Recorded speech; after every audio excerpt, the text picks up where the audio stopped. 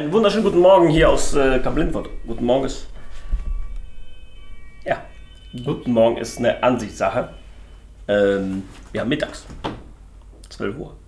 Oder? Viertel nach. Hm, Schon nach. Viertel nach. Und wir drehen ein Video für euch. So sieht's aus. Ähm, heute zum Thema Porsche 944 Turbo. Ja? Oh, da brennt irgendwas. Da kam die Feuerwehr vorbei. Warum genau Porsche 944? Ich finde die Geschichte von dem Auto sehr interessant und es gab eine Version, die, die meisten kennen das Auto, ist der Porsche 944 Boss. Äh, sah schon geil aus. Ne? Nur mir persönlich war der zu eckig. Für damalige Zeiten, Top-Auto.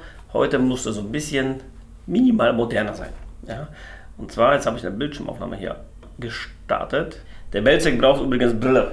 Und zwar so. Tadam, so sehe ich aus. Wenn ich am PC sitze.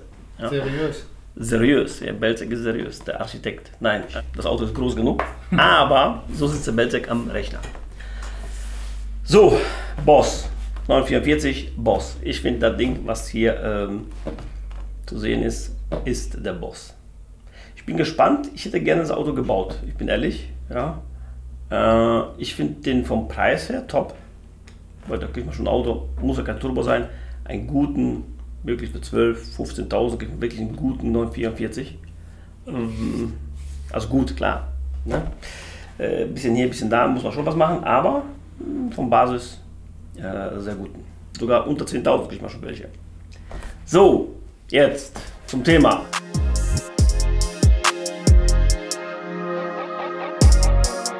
Heckspoiler. Die sehr modern, aufgehübscht. Das schon, was sagst du? Passt zu dem Auto. Passt zum Auto natürlich, klar. Man muss mal gucken, dass er zum Auto passt. Das ist qualitativ damals okay gewesen. Heutzutage bauen die sowas nicht mehr ein. Also auch den großen Spoiler hier, den serienmäßigen Spoiler, müssten wir quasi auch nachbauen ja, oder ähnlich bauen und äh, den schwarz-matt äh, lackieren. Ach, der ist aus Gummi? Hm, ich gehe davon aus. Dem, wie bei dem Audi, der. Genau, damals, wie gesagt, also, damals war die, die, die, die Technologie nicht so weit wie heute. Ne? Verbreiterung finde ich ziemlich flüssig. Ja? Der Boss, da das wie gesagt ganz eckig, gefällt mir nicht so wirklich.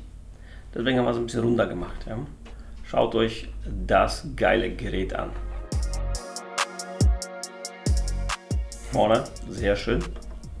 Guck mal, was für, was für eine schöne Form das Auto schon damals hatte. Ne? Ehrlich jetzt, aber abgesehen von unserem Bodykit, so, was sowieso schön ist. Aber die, die, die schöne Form, was, was Porsche schon, immer hatte. Ne? Ich bin ehrlich, ich fand das Auto nie so schön. Ist das so? Security, Da wird man von seinem eigenen Rausschmeißer rausgeschmissen. ich fand's cool. Das war doch, glaube ich, das Modell, wo sich einige Leute so gedacht haben: hm, anderer Porsche, oder? Ja, ja gut, der, der war auch günstig. Mhm, okay. Ja, in Anführungsstrichen. Aber für mich ist jeder Porsche ist Porsche. Aber sowas hat Porsche nicht nochmal gebaut? Hm, nein, nicht nicht in der Form. Mit Umbau, mit allem drum und dran, wäre das ein kostengünstiger Porsche, was cool aussieht, meiner Meinung nach.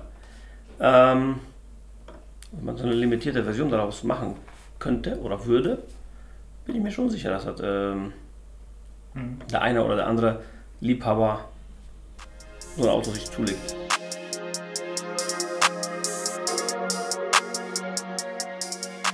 Die, schön die Linien von dem Auto auch aufge, aufgefangen sind, weil hier die Verbreiterung, klar, sind von uns, aber das Auto hat schon serienmäßig schöne Linien, wie auf der Haube und so weiter. Also ja, klar, die, meisten, die meisten gucken auf ein, auf ein Auto so, "Brut, gefällt mir nicht. Ja? Ich gucke das vielleicht so ein bisschen anders und ich sehe schon hier schöne Linien bei dem Auto. Weil, weißt du, wenn ich- wenn ich so, so anfange zu, zu ein bisschen zu, zu erzählen, hier, guck mal, die Scheinwerfer, wenn das alles integriert ist und und und, ja.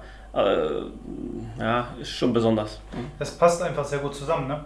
Genau, also man muss sich das manchmal ein Auto zweimal, dreimal, zehnmal angucken und dann sagt man geil. Ja. Das Heck mit der Scheibe, das sieht so ein bisschen an diesen Tage angelehnt, oder? Jetzt. Äh, weißt du was, der äh, äh, von hinten erinnert mich an äh, Mazda RX-7. Ja. So vom Dach her. Guck mal von vorne. Voll das schöne Auto. Finde ich für kleine Mark. Bei dem Preis kann man so einen Umbau auch, ähm, ich sag mal, kalkulieren. Ne? Also das ist, wenn man den jetzt original lässt, zum Beispiel, ich weiß nicht, wiefern der noch preissteigernd ist, wenn du den jetzt so rumstehen lässt oder so, ob du den jetzt halt umbaust, ne? Ja, die werden sowieso immer steigern. Es gibt aber Autos, wo du sagst, boah, da muss ich jetzt etwas in, in die Hand nehmen, kohletechnisch, äh, um dann wieder, ich sag mal, schön zu machen. Ja? Es gibt Autos, die du umbauen darfst und es gibt natürlich Autos, die wirklich einen sehr, sehr, sehr guten Zustand haben. Ja. Die würde ich persönlich nicht umbauen.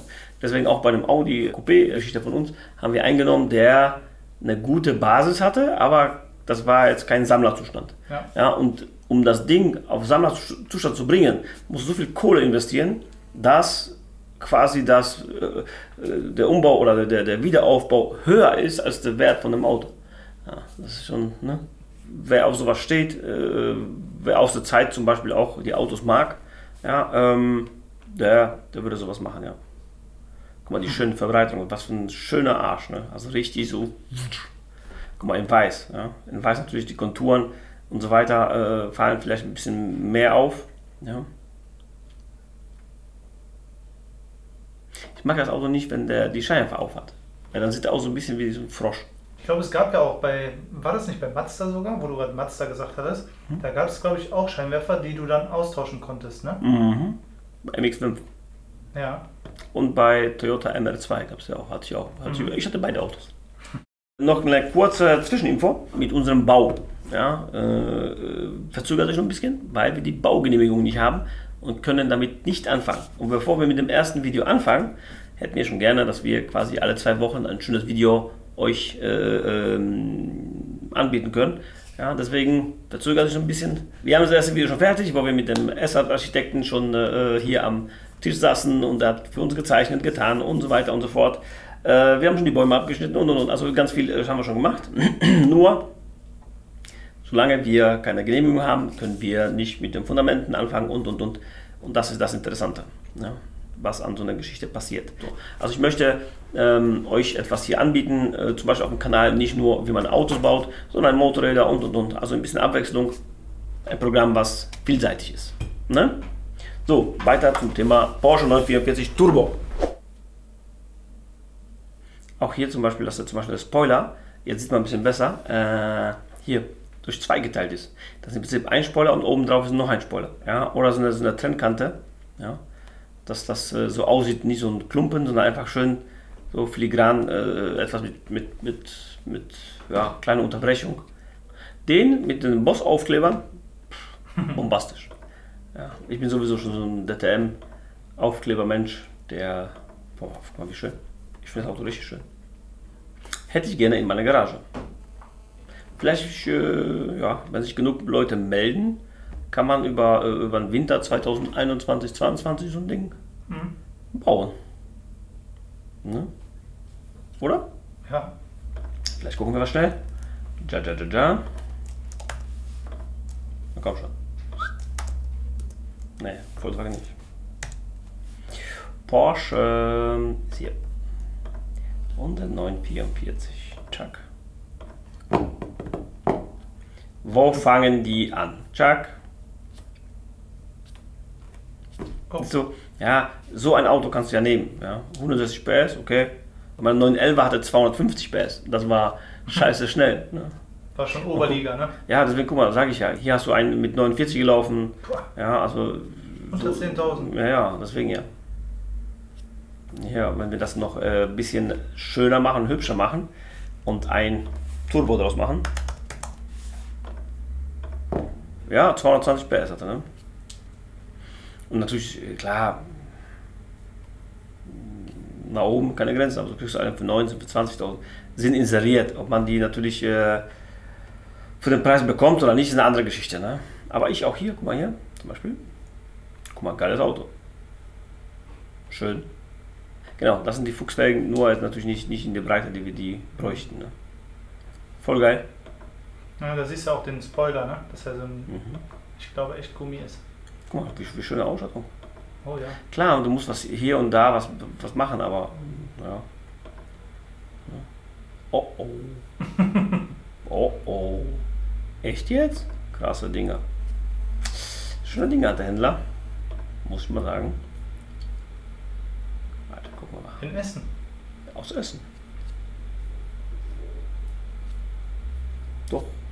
Der hat echt viel so Klassiker, ne? Ja. Auch Mercedes SL. Finde ich richtig schön. Ja. Ja, schön ausgesagt, ne?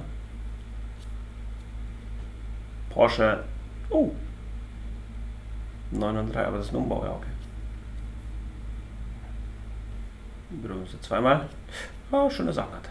Ja. Ja, vielleicht, wenn, wenn jemand Interesse hat, kann sich gerne bei uns melden. Und dann, äh, ja, schauen, was passiert. Verfeinern, das Body verfeinern. Wenn da Interesse besteht, äh, kann man immer noch. Ja. Das haben wir jetzt die, den ersten Entwurf auf Basis von diesem 944 Boss ja, gemacht. Aber was wir am Ende daraus machen, kann man hier und da äh, noch dran arbeiten. Ja, oder? Ja, ich hoffe, euch hat das Video gefallen und äh, bis zum nächsten Mal.